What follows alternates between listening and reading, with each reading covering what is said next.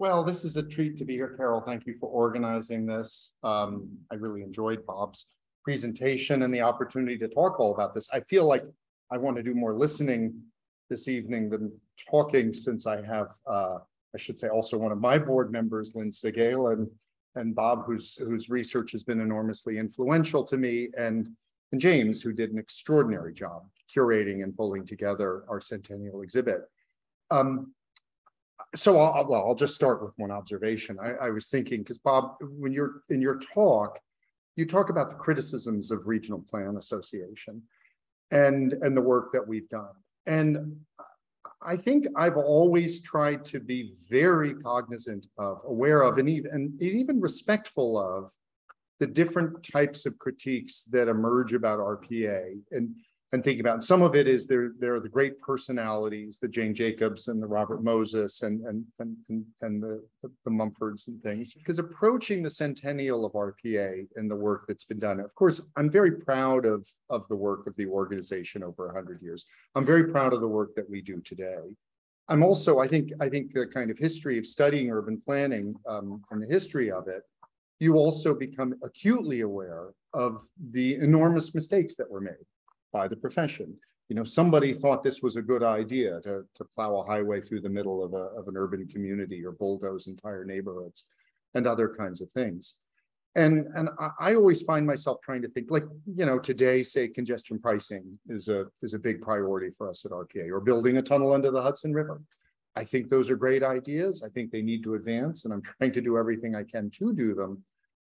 But I also try to approach all this with, you know, to not fall into the trap of hubris and to take very seriously the criticisms of the kind of work that we've done in the past and are doing are doing today, just to try and keep them in mind, um, so that as we pursue the different projects and priorities and goals that we're that we're thinking about, we are being mindful of, respectful of, trying as much as possible to listen to the opposition, understand where it's coming from, um, and use that to improve the work that we're doing.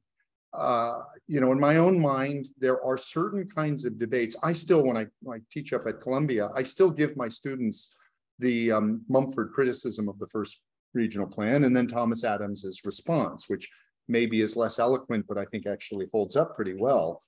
Um, and, and it's a debate uh, about a lot of things, partially kind of a pragmatic approach versus a more idealistic approach, a debate about growth and whether it's beneficial and or, or whether we should be trying to attract and promote growth, simply accommodate it or actually stop it.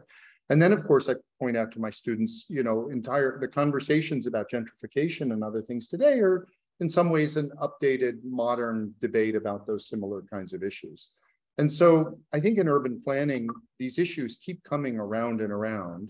Um, and, and I just do try to, to kind of approach our centennial and everything that I think James, we, we tried to give James a very free hand in writing his own, his own piece about this and hearing kind of Bob, your, your, your history about the work that we've done. For me, that's very, very valuable because it helps us better understand this history and it does literally inform the kind of work that we're doing today. So I really appreciate the opportunity to be here and listen to the rest of you all talk about that. I don't know if, if I had to ask a question of this group, I would say which of the criticisms that have been leveled at RPA um, stick the most, or maybe you know, are there are there areas today that we ought to be really careful about that we're working on because because we get quite zealous in our in in the work that we're trying to do. Well, let's not let the silence get too long. Um, Thanks, Lynne. let, let me respond to something that, that Tom said, which is, and what Carol uh, framed as the focus of this panel, which is, does planning matter? What is planning for? And I think that the, the, the, the make two comments. One, the RPA is a provocative civic voice, and that's its role.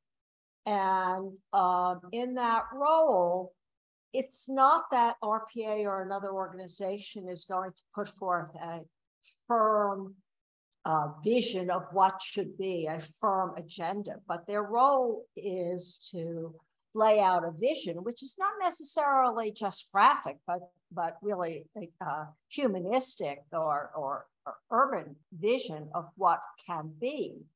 And then in a democracy, picking up Bob's point about what the lesson was, in a democracy, the role of a plan, and I've, I've said this before, and I, listening to the talk, I feel even more firmly about this. The role of the plan is to to generate discussion of what should be. Mm-hmm. It's not as a from a top-down kind of perspective to say this will be. It, it, it is to generate discussion, and particularly in the post World War II era, the way civic organization and civic participation has evolved, that discussion is crucial because the first plan doesn't work most times. It's the second or the third permutation of what the initial idea was and how it gets transformed. So I, I, I do think that that planning plays a particular role in urban areas, which because it's, a, in my perspective, a platform for discussion and a, put forth a vision, is not as well understood as the graphic plan. Yeah. You know, so. Right. yeah, if I could follow up on, on that response to Tom, I think that uh, yeah, the most da- you know, the most dangerous moments for the RPA are when everybody agrees with you. Yeah, and that's right. To me, you know, the what was so illuminating about this episode is that uh, there was so much power behind the idea that rail transit was obsolete. Mm-hmm. That uh, it was, you know, a waste of, of money to put even a cent into it, uh, and you know, and the basic questions of just could a region like New York run on highways and buses alone, private transportation, you know, in other words, Moses wasn't even asking that question. Uh, and and even and it wasn't just Moses; it was Austin Tobin and the Port Authority who were who felt the exact same way. And here's where I think your kind of unique status as an independent organization that has endured over decades, uh, you know, enable you to, you know, to to buck uh, a consensus mm-hmm. when it has to be bucked. And I know how hard that that is, but uh, that seems to me to be at the heart of what you know what the RPA you know has become or should become. Hmm. Well, uh, I would say that I was very um, appreciative uh, of your focusing on this era um, because in doing the exhibition, which had to look, I mean, it was really structured around the four regional plans, just to remind everyone. Um, the occasion of the exhibition was the commencement of work on the first regional plan in 1922. The plan was not, in fact, published. Part one of the plan was published in 1929 in the spring of 29, so notably just a few months before the stock market crash and the start of the Great Depression. And then there was the second part published in 1931. And uh, it proved enormously influential. We can go into the reasons for it. But the there was a second plan, so-called, uh, that emerged in the late mid to late 1960s. We'll get back to that. The third plan published in 1996, uh, 97, and then the fourth recent plan published uh, in about what now five years 2017 2017 about five years ago. So every one of the plans is like a child to me because they all have their different flavor um, the firstborn is the, naturally the extroverted one that gets all the attention. Uh, the first one was so influential and so gorgeous. Um, and it's one of the things that really got me excited about it the first time when I was still a college student was just seeing the actual plan, the books themselves up at Avery Library at Columbia, and just kind of going through this New York that could have been and the kind of dripping gorgeousness of these amazing renderings. Showed one or two of those marvelous aerial images but then all these kind of fantastic images, uh, which were so influential, not only in planning, but as we try to point out, in popular culture. I mean, the very vision of what the future city was for easily 15, 20 years, which is to say from 1930 to 1950, roughly, was really basically based on the regional plan, which then was interpreted by magazine articles, Hollywood films, the Futurama, at General Motors Futurama, you know, you can, we put those pictures side by side. It was very obvious and the RPA plan came first. So um, the second plan was the, is the sort of neglected second child, I think. Um, the, in part, for, for a couple of reasons, in part because it wasn't, unlike the other three, it wasn't one plan. It was a series of volumes. You showed the, the spines of the books. It was eight volumes. My feeling was that, under, my understanding of it was that the sort of wind went out of the RPA sails somewhere in the late, sometime around World War II. And having been enormously influential through Robert Moses and the Port Authority in the 20s and well, in the 30s and into the 40s, after the war, it was not clear what why you would need a regional plan. Hadn't the first regional plan sort of laid everything out? There was in fact talk once the Verrazano Narrows Bridge, then called the Narrows Crossing, was, was approved in the late 50s, which was the last big proposal of the original 1930 regional plan. Some people said, well, maybe we should just go out of business. I mean, we've done everything. Built, Robert Moses and Austin Tobin have basically built most of what we wanted to get built. And the other things like the rail line connections were obviously not going to happen. So they were, in my view, regrouping in the late 60s. They were still, they were, they were not what they had been nor what they would be again. And I don't think, I, I may be wrong about this, I don't think they actually had the resources. To create a full, full-on regional plan. Fair enough, because the, you know something like a regional plan takes six years to do, costs millions of dollars to do. You have to, you know, it's an incredible piece of work. So kind of intelligently from that point of view, if you couldn't do that, well, not don't do nothing. So what they did, what they could do, which was issue a series of smaller volumes on specific topics. And uh, very interesting array of topics, some of them very, one was called the Lower Hudson, and it was really a, a in its way, completely revolutionary thinking about this key turning moment in New York history, which was that the port, which had supported New York for even by then 150 years, was obviously containerization was going to mean that the port was going to leave Manhattan and Brooklyn and the edge of Brooklyn, the fringe that had supported it. They were the first to say, okay, that's going to happen whether we like it or not. New York City itself was in complete denial about it. Um, and they said, well, it's going to happen. So the question is, isn't whether it's going to happen or not, but what could we do based on it? What could we, how could we reuse the waterfront? And they were the first to set out a vision of what is basically the new modern waterfront that we live with today, 21st century. So it was enormously influential in different ways.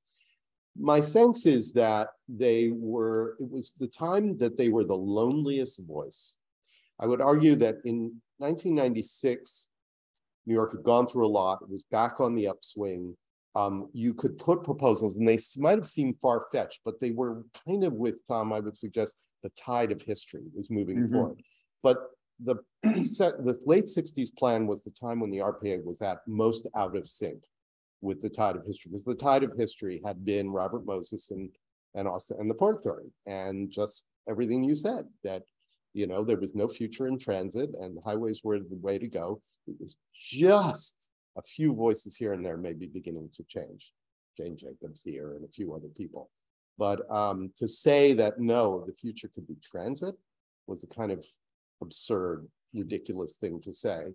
And they had and they had no no um, what would you say? No no um, status. You know, who was going to listen to them? Like, what was the agency going to be that was going to the New York City Transit Authority, which was just barely trying to get a 10, you know, it would have been like token raise of 10 to 15 cents. So they would lose only $100 million a year. The port, the Trans Hudson Tube lines, which were had barely survived only because of the World Trade yeah. Center, are like what was the the New York Central running, you know, the the the, the transit line, you know, the, the the regional rail, a Long Island Railroad, all bankrupt or almost all bankrupt. So where were they, you know, who was going to actually listen to them? Um, so I think it was kind of remarkably brave and amazing that they did say it. And it goes to, and this is really to Lynne's point, what do planners do? Um, there's, there's uh, in, in the review of our show, uh, Justin Davidson referred in New York Magazine, referred to uh, a wonderful phrase by Richard Powers in the Overstory, and he, he referred to the speed of trees. And you know, that's what planning is, it's the speed of trees.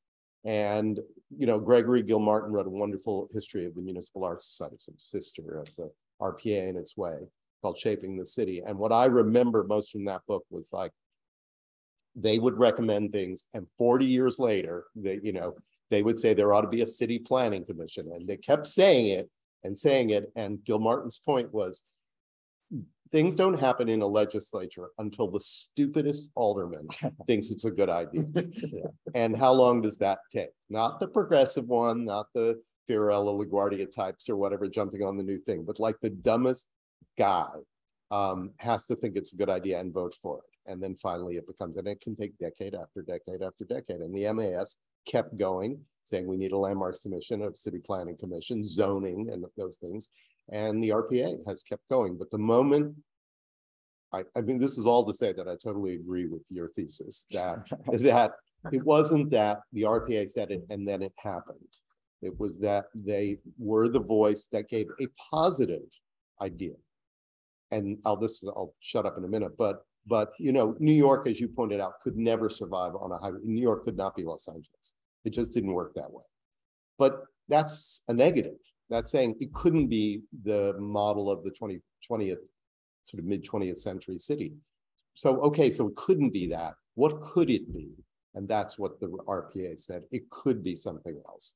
And to put a kind of positive angle on it. It was a really kind of extraordinary thing. And as it turned out, it took you know a few years, but David Rockefeller was listening, and excuse me, Nelson Rockefeller was listening. David might have been listening too, uh, but Nelson was certainly listening, and it gave them the ammunition to well, it seems two things: one, to organize the MTA and come up with the daring idea that you were going to cross subsidize the MTA from the Triborough Bridge. You were going to make the Triborough Bridge and Tunnel Authority part of the MTA, and you were going to basically take money from Robert Moses and give it to transit, which he said over my dead body, and Rockefeller said, okay. Mm-hmm. Um, in April, his dead yeah, body. April, April nineteen sixty-eight.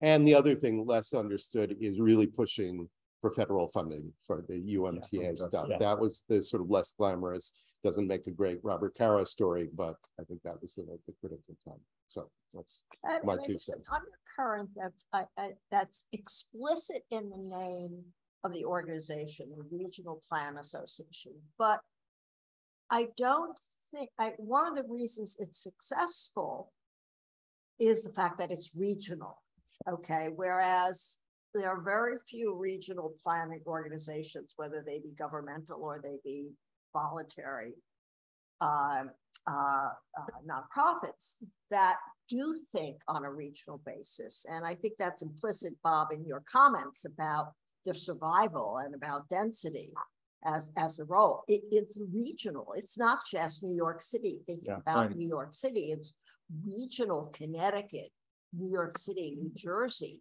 because the central of the metropolis doesn't work without the region. And that's been a, a very hard argument for planners to make historically, even though logically that is correct. It's been very hard. And I've been at many a conference where regionalism has been discussed without the passion that Mhm. generally exists in New York about regionalism. Yeah, um, and if I could, you know, just build on that a a bit, that, uh, that beside, you know, that, that what was happening also was, you know, there were literally millions of subway riders, of commuters who were screaming about what was happening to them. Mhm. Uh, and because the problem was regional, it was very difficult. You know, you had to really invent institutions on the fly in effect. And, you know, that was, you know, that to me, you know, it- it's not glamorous. It's impossible to represent in, you know, in an exhibition. But that, you know, that hard work of institution building, which, you know, in other words, someone, you know, obviously we identify it with Nelson Rockefeller and so on. But the, the issue was, as I say, there was this in- incredible frustration, anger, and so on that was just not being able to be reflected in existing uh, institutions, which all said, well, that's not my responsibility. We don't have the funding for it, et cetera, et cetera.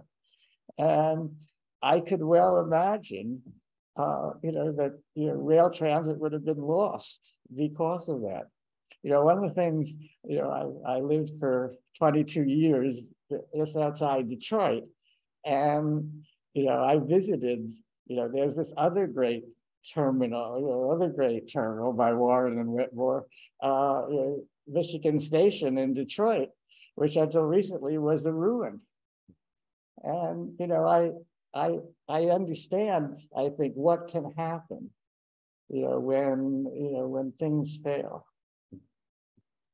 The, uh, Go ahead. it's hard to imagine, you know, my father said that, you know, I think even more than nineteen twenty, said that when the railroads started complaining in the late fifties and early sixties that they were running out of money, he said nobody believed it. He said Pennsylvania Railroad had been the richest corporation in the world.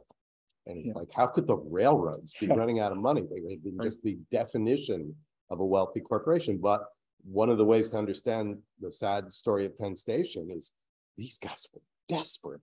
And when someone came Yeah. and said, we'll pay you to uh to build something on top of your station, you keep the concourse running, but all that empty air over it, uh Madison Square Garden and Two Penn Plaza, uh the Felts were, they were like, hallelujah. Yeah. Absolutely. We sell air and when it's like sort of the twenty-four dollar deal, it's like the best thing that ever happened to them because people now go, how could they do it? Well, if you're a, if you're a company running in the red for year after year, you know, and then somebody comes along and will give you tens of millions of dollars for something, sure, Yeah. absolutely, you know, it was. Absolutely. yeah. There's, And Grand Central was gonna do, the New York Central was gonna do the same right. thing. Penn There's, Central, there's my a great oral history. So, so Charles McKim Norton, whose father, Charles Dyer Norton, was the impetus who originally convened the Committee on the Regional Plan in nineteen twenty-two, sadly didn't make it to twenty-nine to, to see the release of it. But his son, Kim Norton, who, um, I never met sadly, and I, and I feel like we went to the same high school, we live in the same community. I feel like somehow I'm kind of following in his footsteps. There's a wonderful oral history up at Avery Library at Columbia that I've, I've read and reread many times for the insights in it. But he talks to the point that James was just making, where he, he got a question about, you know, the first plan comes out with, here's, here's how the highway network should be built, and here's how the, the mass transit network should be built. And, you know, one of them gets built very, very quickly, and the other one, we're still waiting. And he says exactly what you said. He said, come on, you know, in the nineteen twenties, who were the richest people on the face of the earth? It was the robber barons of the great railroad wealth. And I remember reading that and thinking, yeah, that would be like me putting out a report that would say, you know, these tech guys are morons. They don't know what they're gonna do. It'll all be a puff of smoke. And maybe Twitter will be, but, but most of them, you know, it- well, it's interesting. But it's a kind of an assumption that, and, and there is a kind of, you know, as an organization trying to figure out where we devote our resources and time, where should we push? I, I also, I just got a Lynne, Lynne talking about the unique regional aspect of what we do and, and the importance of it. And because I studied Bob Fishman in graduate school, I know, I actually try to differentiate, and, and I'm not going to push for a change of the name of RPA. But that the, you, wrote about the regionalists versus the metropolitanists, and the, the regionalists were really the RPAA. I flunk any student of mine who doesn't know the di- difference between them which was, of course, the Regional Planning Association of America, the loose-knit group of the Benton MacKaye and Lewis Mumford and the intellectuals who never formed an organization, created a regional plan, kind of tried to institutionalize the work that they were doing, but also conceptually had this idea of a region should be a kind of balanced, there shouldn't be any, any concentration at the core of it, but rather rather, um, you know, a, a- completely kind of balanced, um, uh, geographic, economic, cultural, uh, form. Whereas the metropolitanist point of view, you argue, which I- and that RPA has argued, is that the center of the region has the great density, the highest concentration, and that there's a relationship between the parts of the region that we have to understand. Um, and kind of, so working in that, with that perspective, and then thinking about what are the institutions that we have to try and affect change. And there are very, very few. You know, you've got the Port Authority in nineteen twenty-one, you've got the MTA in nineteen sixty-eight. I would argue in land use, probably most people have never heard the, of the Tri-State Regional Planning Commission because it didn't go very far and didn't make it and was, um, you know, essentially disbanded and turned into a bunch of little MPOs that haven't done too much. Now on land use, I would argue that the, the regional commissions, the Highlands Council and the Pine Barrens Commission in New Jersey, the Pine Barrens Commission on Eastern Long Island on a, an environmental work, we've actually figured out a, a workaround around that. But those are, you know, they're very few and far between in terms of examples of effective regional institutions. And one of the concerns I have, and we struggled with this in the fourth regional plan, is to what degree are we trying to kind of tell them what they, we think they should be doing that they aren't? Hey, MTA, go do congestion pricing or something like that. Versus actually thinking about are the models still the right ones? Because we haven't really amended the public authority model, you know, in a hundred or 50 years. We did a lot of research looking at MTR in Hong Kong, Transport for London. The Greater London Authority is only, what, 23 years old now.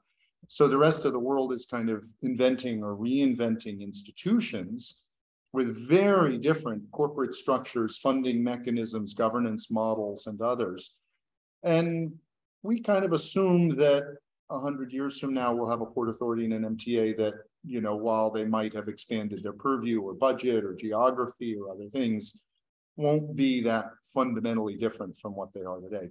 It's a hard one for me, going back to an earlier comment I made, you know, we're a small organization, it's a big region, pick your battles wisely. Mm -hmm. And um, I did, I'll just to close, I'll say, I, I, I, we did a program this morning at the Federal Reserve Bank, kind of celebrating the 75, now 76 year anniversary of the release of another report RPA did that was very important called The Airports of Tomorrow, where in the 1940s we teamed up with the Port Authority. There was the big debate and battle between Robert Moses and Austin Tobin and and the idea would New York City control its airports the way Chicago does today, or would the Port Authority be able to put in a regional um, uh, structure with Newark? And we, we, we convened a conference in the 40s and, and issued a report that strongly argued in favor of the Port Authority perspective. Anyway, I'll just say it was interesting because I, I kind of did had a conversation with the chairman and executive director of the Port Authority who are now entering their sixth year working together. And the Port Authority has been just literally by, frankly, these two men being able to work together, being able to kind of hold off too much of the political interference. Um, the Port Authority these days is actually making very concrete steps towards improving the airports, towards modernizing systems, uh, towards trying to do what they can. And so, um, so anyway, I kind of, sorry, I'm rambling here, but just thinking about this kind of, we have so few institutions that we can work with to do the kinds of work that we're trying to do. Um, so we find ourselves trying to figure out, you know, to what degree do we just work with what we have or create new ones? And I'll say the last one that I think is really important is a debate that's now coming forward on, on a, that's a regional debate, I think too, but it's not infrastructure so much, is on the land use side and, and the acute housing affordability crisis that we're seeing, I think brings forward a hundred year old debate in planning, which is how much of the decision making should be given to the local municipality and the hyper local and home rule and all that versus understanding that there is a county, region, statewide interest in how these decisions are made too. And Governor Hochul, I give Governor Kathy Hochul enormous credit for rolling out over the last few weeks a series of proposals all wrapped around trying to deal with New York State's housing crisis that is just, to my point of view, just trying to take back a very small bit of the local land use control by which communities, the suburbs in around New York City, especially the New York suburbs, not, not so much Connecticut, New Jersey, are, are allowing virtually no new housing anywhere near train stations, even though the state and the feds have now put twelve billion plus dollars into improving the Long Island Railroad, you can't build any housing anywhere near a train station in Nassau County. Well, I mean, it's. it's Sorry, a- It's particularly ironic, given the fact that New York State, through now called the Empire State Development Corporation, has the power to override local zoning.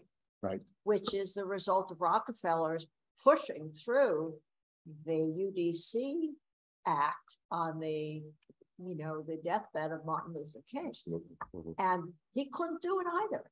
Yeah. And They have it on paper. So, I mean, you know, it's the right thing, not necessarily, I wouldn't say it's the right thing to override. What I would say is the idea of what you can achieve by either full or limited override, override is right. It is incredibly hard politically to pull off. Yes. And the question is, what is there any kind of mitigation that would lessen the barriers? You would think next to transit station it would do, but there is this myth about apartment buildings being a negative on property values. I mean, there are myths around these barriers to greater greater housing density in suburban areas, when suburbs, suburbs these days are not just full of single family Right, houses. right. You know, but there is a, there is a, there's a, a, a myth barrier that needs to be shattered. Yeah. The- Another component is the transit oriented development. Another key piece of this that's been in the Times written up lately is accessory dwelling units. And you would think it's the end of Western civilization if somebody rented out the apartment above their garage. But if they could have their children in that apartment, that might be Yeah. different. Right, right, it might be different, exactly. And, and it's, you know, and, and interestingly, it's starting to, to tee up in a kind of political dialogue with, you know, liberals here and conservatives over there. And by the way, what we're talking about is um, giving property owners the option of doing more things with their private property, Just which what you. could- Airbnb does, Yeah, just yeah, what Airbnb does. Yeah. It's, it's just a different It's level. of just a thing. different, different kind of, and yet it, and yet, yet somehow it's playing out in a different way. But, but I, I guess I'll just to, to, to try to say, it's like from our perspective, figuring out wh- which levers to push on and how to do it. The other thing I, I, I will just say is Bob kind of saying that the most dangerous times are when everyone's in agreement. Suddenly, you know, I'm gonna have many sleepless nights. Um, Because there's, there's an enormous amount of, of consensus around a lot of these issues. Um, I don't know how much of it will get done, but, you know, we are in the throes of pushing through congestion pricing. We have extraordinary housing proposals on the table. The president was in town this afternoon announcing three hundred million dollars for Gateway.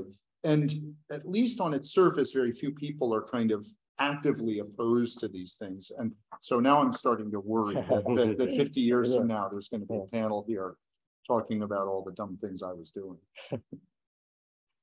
Right, well, I hope not. The, uh, the, I, and as a New Jersey native, I have to, uh, to, to recall the Mount Laurel decisions. Yeah. You know, in other words, uh, uh, there, you know, there is this long history of, of that struggle again, you know, against home rule. And I, I think that, you know, I mean, there is, you know, in other words, you don't have to worry there about having no opponents. Yeah, yeah, no, we won't, we, Uh, the, the, the support for home rule runs deep, even Yeah. though I would argue, I, I don't know, I think to try and tell me what has been a worse public policy in terms of its actual outcomes. You know, it doesn't, it doesn't uh, deal with our housing issue, it doesn't deal with the segregated and isolated society that we have, it doesn't, uh, it doesn't Yeah. deal with traffic congestion, it doesn't give us clean air or water. And yet somehow everyone thinks home rule is such a great idea. Yeah. Well, I guess the, you know, to go back to your, your paper or your talk, um, you know, it was so emblematic of the fact that you were trying to support a kind of commuter rail system. I think it's worth actually teasing out. You, you know, mass transit covers a lot of ground and the subway system is mass transit.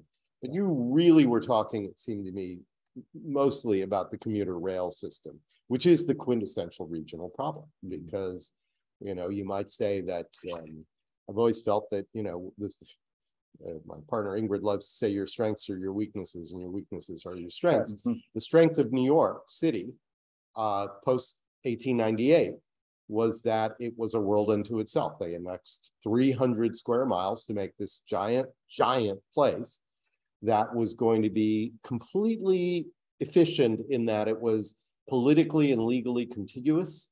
So that there were five boroughs and the five boroughs were the same as the counties, which were made up the city of New York all under a single mayor. Doesn't seem like that big a deal until you look at a place like Los Angeles, for example, which has eighty-eight cities in its region. Uh, of which the city of Los Angeles is only one, many unincorporated areas in the middle, as if for example, you would take Brooklyn Heights and say, not only is it not going to be part of New York City, it's not going to be part of any city. It's Right. just going to be part of the, run by the, some state organization. Or London, which did not have the powerful identity. We thought of it as a place, but it was actually the boroughs carried all this power and the Greater London Council, which was created relatively late, um, that had nothing like them. Lord Mayor there is not the same as the mayor here. So that comparatively, New York works very well. And it's not just that sort of simplicity of political and legal and administrative power. It's that New Yorkers, people who live in the city of New York, think of themselves as New Yorkers. Mm-hmm. And anybody who doesn't live there lives somewhere else.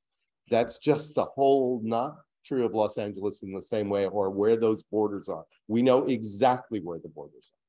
And um, such that when you talk about, as there has been talk, extending the subway to New Jersey, is for New Yorkers, uh, it- it's just a, a, crazy idea. Like, what, what do you mean? How, how would you extend the, well, you'd build a tunnel and you would have, you know, Yeah, just yeah. like you have under the Yeah. East River. No, but wait a minute, the subway can't go to New Jersey. Um, why would that be? And so, you know, this goes to the idea that of all cities, because we effectively had our own region, New York City had its own region, it had its own expansion, which in fact lasted most of the twentieth century. There was still empty land to build on in the five boroughs of New York City until the very end, until the nineteen nineties, nineteen eighties, nineteen nineties. We have trouble, uh, oddly enough, we have more trouble thinking regionally than other places, which have a more diffuse structure. And it becomes very difficult to convince people in Long Island that their, you know, their They interests are matter, the same. Yeah. I- Sideline. we, we made the point in our series that weirdly enough, it was 9/11 That when you mapped the, the places who- which had lost people, you suddenly saw a map of regional, you know, metropolitan New York. And it wasn't a administrative thing, it was an emotional thing. It was Yeah. like all these people from all over the place were related, it turned out. They did have something in common. And that if you destroyed this building in the middle of the city, you would actually have fifteen thousand people all across the metropolitan area will have lost an immediate loved one. What a strange and odd way to show it, but that's what it was. So I think the issue, though, of the regional rail and, and how fragile and difficult the idea of regional rail was that it covered three states and many, many cities with no jurisdiction. There was no jurisdiction. The state of New York didn't run what happened in Connecticut or New Jersey. So somehow you were gonna have to create this thing where there was literally no governmental oversight structure of the whole thing. It had been reliant on private rail, and of course, that's another historical reality of the United States, which is that our rail system is built privately, not publicly. It's not like we don't have SCNF or British Rail or whatever. And so you had these private companies, and of course, no surprise that the twenty-nine plan couldn't make those companies get together, but here we were forty years later, trying to not unify everything, and you're still trying to get Still things to work. Yeah. And, you know, it's a tough, a tough uh road to hoe, and you guys really, you don't have that power, but you do, the regional plan does have the power of example and influence and so forth, and it's the best we have for this situation. I, I used to think my job should be to put myself out of business, that if I could just convince, you know, but I've, I've come to realize, I mean, you say it's the best we have, but it's actually, it's, it's wonderful to have, you know, no responsibility of actually implementing it, but be able to continually raise the issues and, mm-hmm. and talk about them. actually, I'll come back to also, you know, the, how concerned I should be about we're all in agreement. One thing that is, I mean, look, the thing that we're all worried about right now is what does the post-COVID city region landscape look like? And that's an area where I find myself, last week, I found myself arguing with somebody who I think is probably right more of the time than I am, but, but badly wrong on this. Because he was very pessimistic about the future. And, and there's a, there's an argument to be made that we still haven't really uh, seen the worst effects of COVID on, you know, the argument goes essentially that the that the work from home means that the commercial office buildings will hollow out, which and once the federal funding runs out, then we're going to see we're going to go into a 1970s era downward spiral of, of fiscal crisis and cutbacks in services, creating more fiscal crisis and cutbacks in services.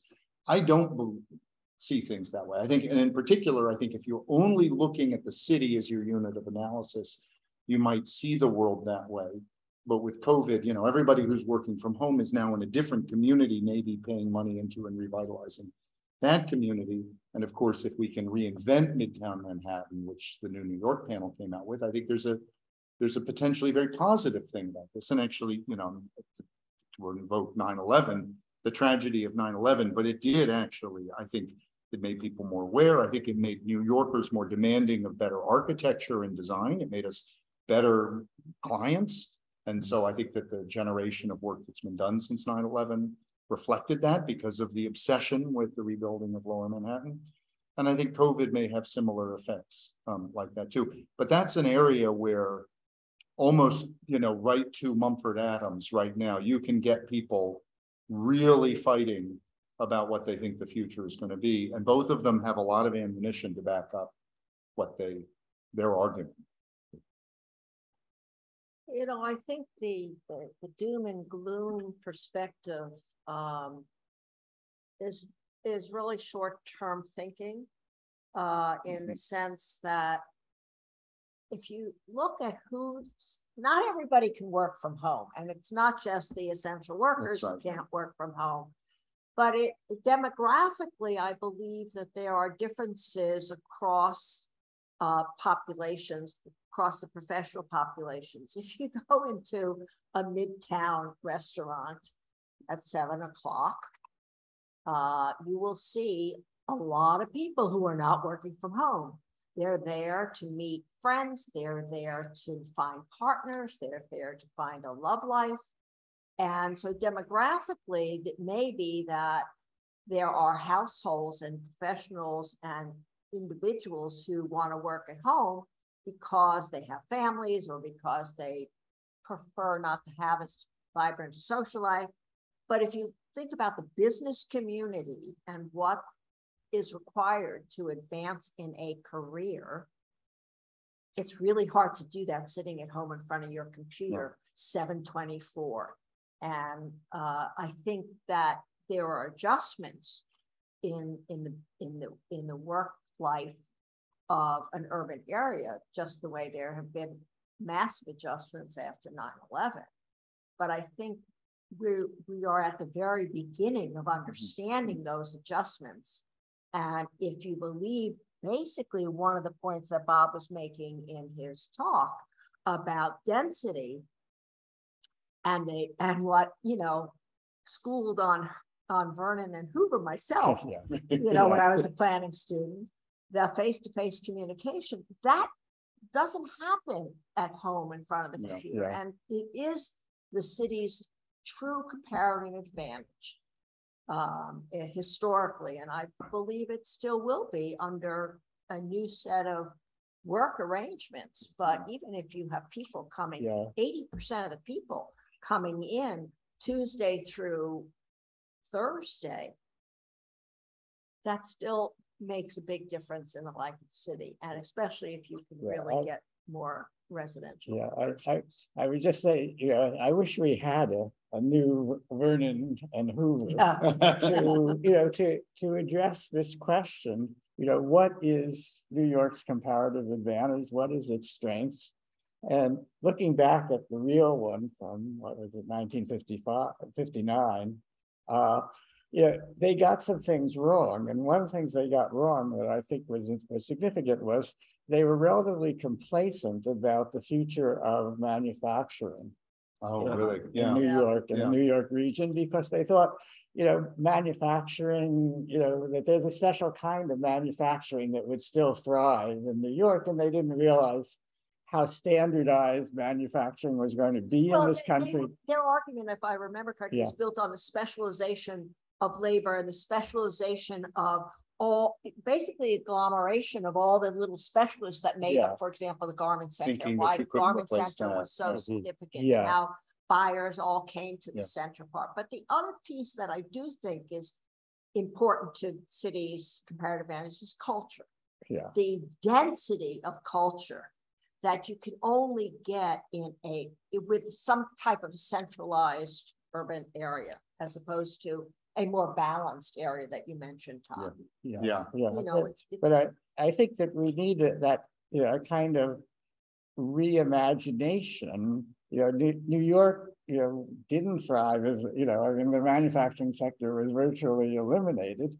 But New York was so strong in office and culture and leisure and so on that it more than made up for it, as no one really expected. Right. Now, I think we need a similar kind of reexamination of what that office culture is going to be, how it's going to work, whether it will support the, the square footage of office space we have. I mean, that's what I mean by, you know, that uh, maybe it's impossible to really know this in advance, but those are the things that will determine. Yeah, yeah, I'll, I'll say two things. One, as a, as a little kid growing up on the Upper West Side in the nineteen seventies, it wasn't without pain, that transformation. And so I don't want to try and minimize, Yeah. uh, all, all- of that. But, but we did come through. Actually, as you're talking about Vernon and stuff, I'm, I'm thinking in my mind, the more, uh, the better comparable would be the work of Saskia Sassen in Global Cities in the early nineties, when of course there was this thesis, okay, with if you can do your, your stock trading from Idaho, then there won't be any need for New York City. And Saskia kind of turns that on her head and says, no, actually, the, the hyper specialization required to work in this brave new world means that these, these cities with the, the intense concentrations play an even greater role. So I, I, I'm kind of sitting here thinking, who will be the next Saskia to kind of figure mm-hmm. out what the work from home dynamic looks like. And the final thing I'll just say is, it's, it, it drives me crazy when you read, oh God, there was just an article the other day about mass transit ridership, and they give you one number for, you know, they're at sixty-eight percent or they're at Mhm. seventy percent. And of course, that's a ridiculous number because what matters is the composition, who's riding it when. And, and Mondays look one way, Wednesdays look another, Fridays look, and as everybody, you know, if you talk to anybody who runs one of these transit agencies, they'll tell you, yeah, Monday is really, really slow. Tuesday, Wednesday, and Thursday are getting close to where we were pre-COVID. Friday no longer has commuters, but is, but is now has mm-hmm. more people doing the, the mm-hmm. leisure trip and other things. And so it's a, it's a, it's a different composition. You can't place that. And I think likewise with the office occupancy and the work from home dynamic. So it might be that you come into the office three days a week instead of five. But those three days may be even more important to your professional advancement and, and what you're happening than the five were before, which could mean that you're still going to value that office space where it is, the amenities that it, that it imposes and other things. And so it's, it's, it's been really hard because right now we're trying to reduce all of these to one or two numbers and try and make decisions based on them. When actually it's a, it's a different lifestyle I, that, that, that's emerging that we're gonna have to, to really understand. I, I remain convinced that on a regional or metropolitan scale, actually the long-term effects of this could end up being quite beneficial. It creates more capacity for growth in, in parts of the region that, that were up to their limits before. It creates more opportunity, I think, for inclusive growth. It gives us an opportunity to address things like uh, resilience and others in ways that, that were going to be very, very hard to do pre-COVID. Hmm. Um, but, but I hope I'm, I hope I'm, my friends aren't right about the, the doomsday Well, we- scenario. It seems to me we don't know anything yet because the, uh, use the term Mark might appreciate, the market hasn't cleared yet. Uh, the, the, the, the commercial real estate owners may have to take a serious haircut.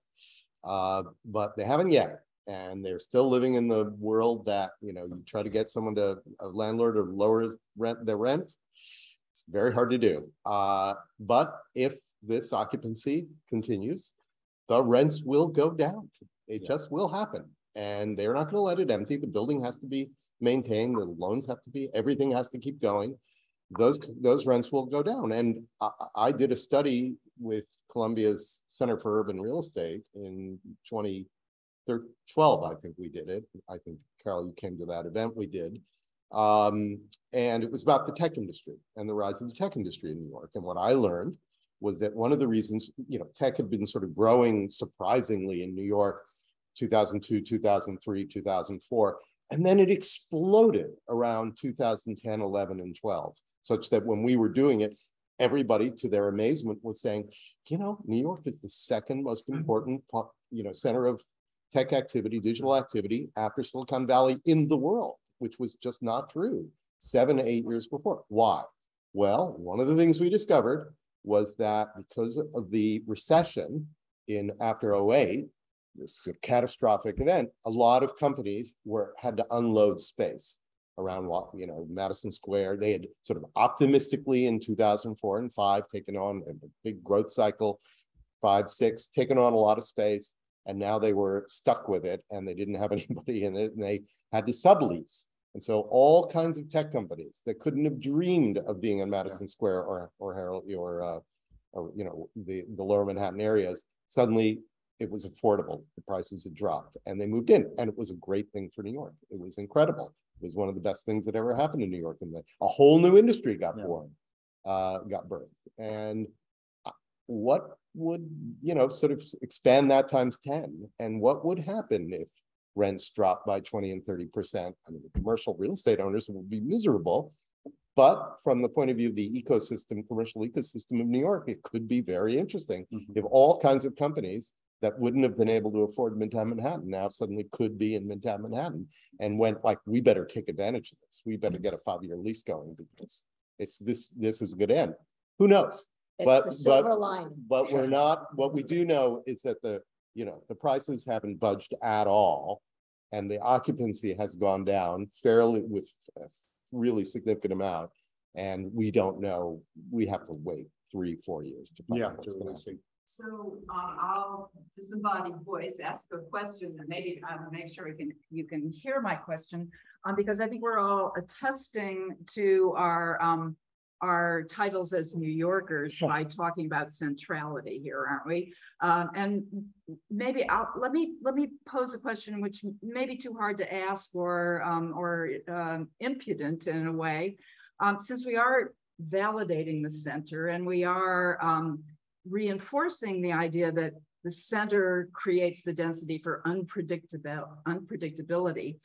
Can we expand out now again to the region and say how important is planning? If unpredictability is the is the, the, the secret sauce of New York, how does planning fit into Yeah, unpredictability? Anyone wants? to jump on that? That's a tough one. I'm, I'm always amazed at how, you know, how can you possibly plan for New York? You know, the parking regulations on my block on Lispenard Street are left over from nineteen fifty-eight, which means that you're not allowed to park during the week and you are allowed to park on the weekends. Why? Because it was designed so the trucks could unload and load their goods of, of an industry that's been gone for thirty years now. And the parking regulations haven't changed because the city evolved underneath. Or I always love to imagine down also in Tribeca that you would go to when they were developing the Washington Market Urban Renewal District and tearing down all these loft buildings. And you went to Robert Moses or to the board and you said, no, actually, you want to keep those buildings Yeah. because they're going to be worth more than your new high-rise housing projects. They would have looked at you, it would have been incomprehensible what you were saying. That under no possible imaginable circumstance could old warehouse buildings, move nope, just wait twenty-five years, they're each little piece is gonna be worth three million dollars and you're a little low-rise, you know, you're inexpensive. That may have mm-hmm. been a good thing to build Independence Plaza North, but not to improve property values. Improving property values would have been, let the old warehouses be there. how can you plan?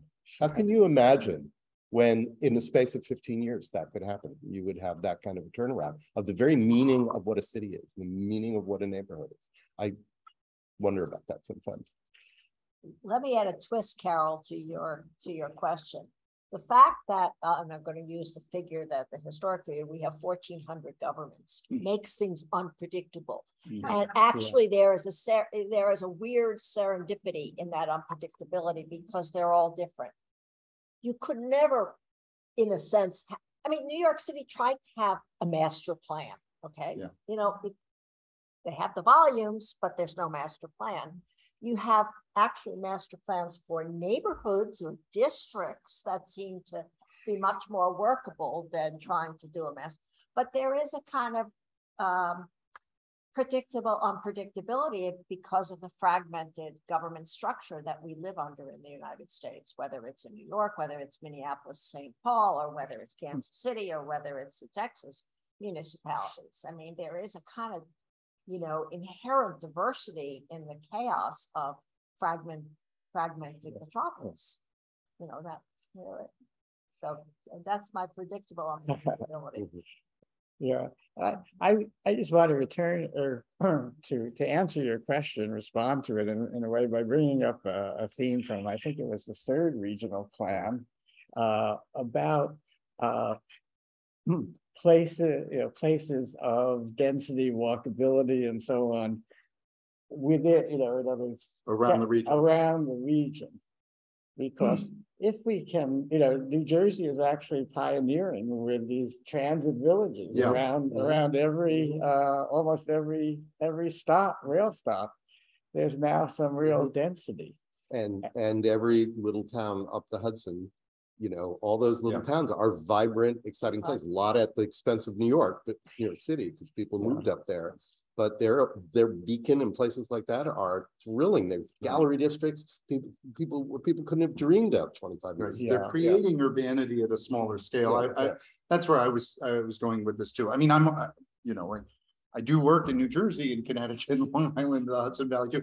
I'm actually the chairman of the State Planning Commission in New Jersey, which was put in place alongside the Mount Laurel decisions to try to create some kind of master Yeah. planning on a statewide basis. It doesn't, it's not a top-down plan. It's a kind of invitation for communities to engage with the state about what they're trying to do. But the remarkable thing that has really come out over the last thirty years is that towns want, these people want a little livable, walkable downtown to, to Mhm. go visit. It's, they'd love to live there too. Um, but if they can't, at least they'd like to be proximate to it and go and enjoy it. And, um, and so these places are, and, and New Jersey, you know, was, did a very intentional uh, experiment with this about thirty years ago that has paid off enormously. They invested to a great degree in New Jersey Transit to try and create better connections to New York City. The Midtown Direct Service, the Secaucus Transfer, uh, the Montclair Connection, all of which took lines where people had two-seat rides or difficult rides and gave them a better seat into Manhattan to better connect themselves to the metropolitan economy. Of course, there's that one little weak link, which is the piece under the Hudson River, which we're still trying to deal with.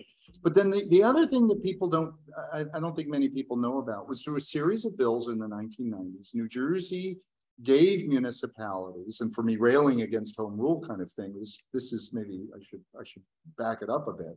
But they gave mayors the ability and incentives through tax districts and other things to assemble sites and create redevelopment plans and, and, and do that kinds of transit-oriented development um, in downtown areas. Uh, it would, it would save them money on the, you know, what they would have to send to the school boards and other things.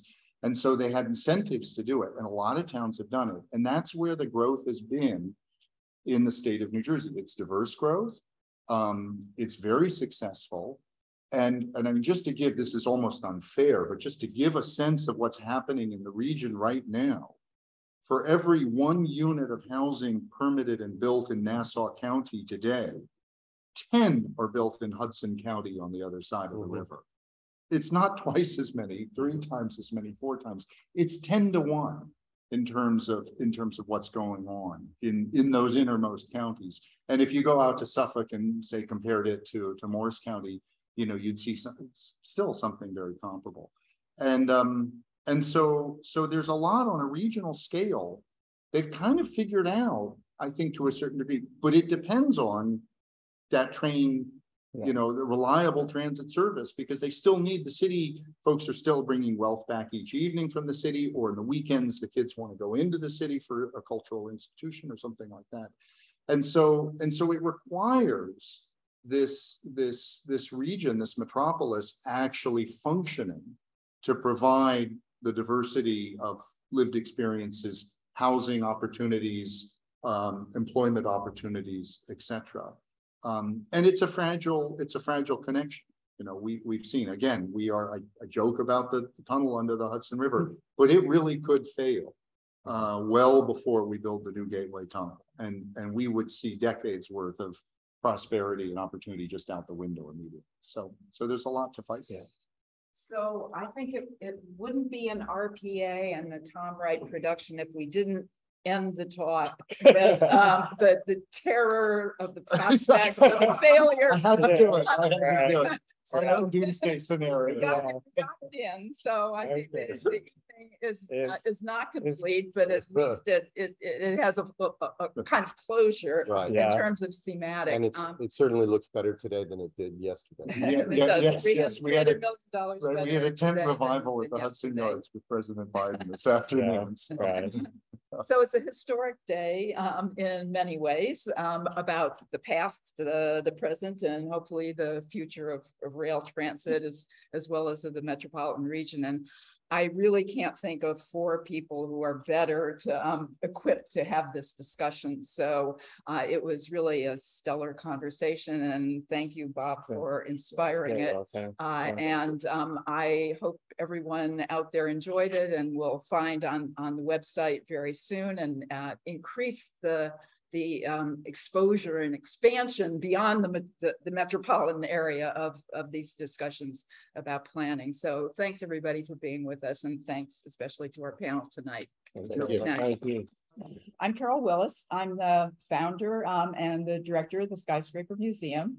And I'm here with actually two of the board members of the Skyscraper Museum, James Sanders and Lynne Sagalyn, who have um, assembled tonight at my request to, uh, to be discussants on the video that you may have seen previously or you may have just seen on the website. Um, a wonderful talk by our, uh, another of our speakers, uh, uh, well, with the talk by Robert Fishman, uh, an urban and planning historian, will soon uh, be joined by Tom Wright. But let me just mention that the context um, for tonight's talk is the centennial of the Regional Plan Association. And that centenn- centennial was brilliantly uh, feted and uh, illustrated back in October with, uh, well, a- a, a wonderful exhibition that James Sanders was the curator for. And he'll, he can talk very briefly about, But I hope you all saw it in the waiting room in the Vanderbilt Hall of Grand Central Terminal. What better place in order to celebrate the region than in Grand Central Terminal and especially in that fabulous um, Beaux-Arts uh, train hall or ar- architectural masterpiece.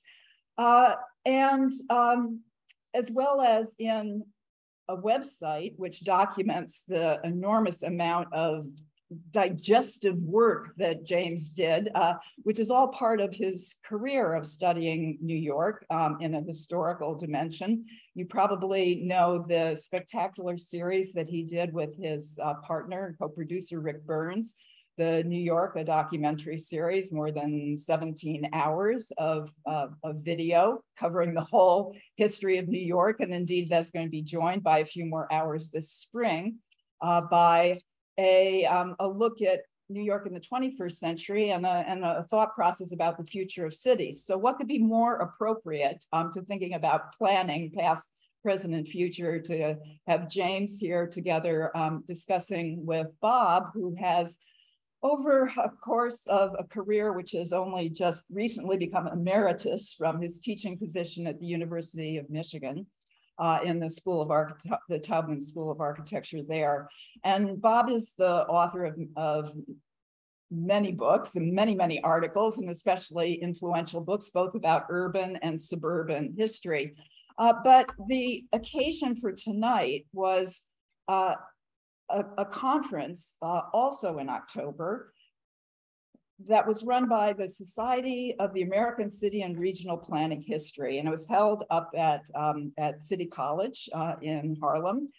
And urban historians and planning historians from all across the country, academics mostly, but also practitioners came together in this conference. And one of the many sessions that they had in October uh, was a session on the centennials of the Regional Plan Association and also the Regional Plan of New York and its environs. Um, Bob was the minority view in that panel where about five other people spoke about the, art, the Regional Plan Association of America, the decentralists, the, the suburbanists, um, Lewis Mumford and, and Clarence Stein and the like. And Bob valiantly presented the case for cities, uh, you know, in New York. and so um, it seemed to me, and because we think very much alike, I think um, about our historical perspectives, that that, that his um, talk to a small circle of academics needed to be brought to a larger audience, um, just as um, the large audience that uh, the Regional Plan Association and James brought to, to Vanderbilt Hall um, in the flow through of the commuting centrality of, of Grand Central, that, that we needed to continue the converse, conversation in year 101. And so this is an effort to do that. And I hope that you have already heard Bob's very brilliant um, lecture, uh, but we're here together now to, um, and I'm going to introduce Tom Wright, who is the president of the Regional Plan Association and has been for some um, 20 years or so.